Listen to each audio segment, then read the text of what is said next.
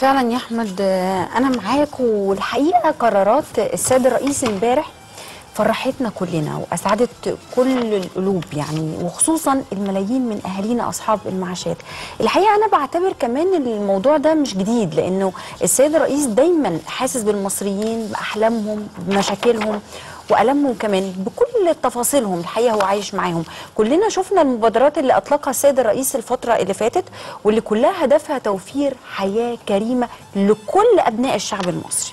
لكن كمان الرئيس كان حريص في توجيهاته للحكومة امبارح على الانتهاء من أو انتهاء اللجنة المشكلة لإصلاح منظومة الأجور من أعمالها وده هيكون في خلال شهر واحد بس من دلوقتي وهيبدأ تطبيقه في من 1 يوليو 2019 وده برضو خبر فرح كل الناس فرح ملايين كتير لأنه بالفعل هيساهم في وضع منظومة أجور عادلة تضمن الحياة الكريمة للأعظم بقى أو للأغلبية من المصريين. باختصار القرارات هي انحياز من السيد الرئيس لمحدودي الدخل والبسطاء من أبناء الشعب المصري. وتأكيد كمان على المواقف الثابتة للرئيس بدعم دولة القانون ومؤسساتها وإن مصالح الوطن مصالح البلد دي مصالح أبنائه فوق أي اعتبار تاني خالص طول عمره على طول من يوم ما مسك وهو واخد باله من كل مشاكل المصريين.